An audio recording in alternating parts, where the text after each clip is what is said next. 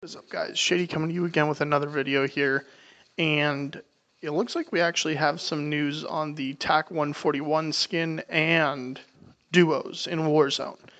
Now, from everything I've gathered, it looks like we should be getting both of those things next Tuesday, April 14th. Now, I'm more confident on the fact that the TAC 141 skin will be coming out on Tuesday Warzone and duos is definitely a. Uh, that's more of a, a, guess, and from what I've heard, they might try and stretch that out to the week after, which would be the 21st, so that they have more big content to drop.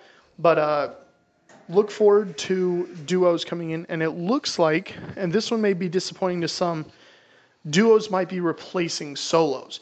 Just like squads replace trios, it looks like we might be getting duos to replace solos. So I don't know how you guys feel about that, but April 14th, next Tuesday, keep your eyes open for that date. Make sure to hit that like, make sure to subscribe, and I'll see you guys on the next one. Later.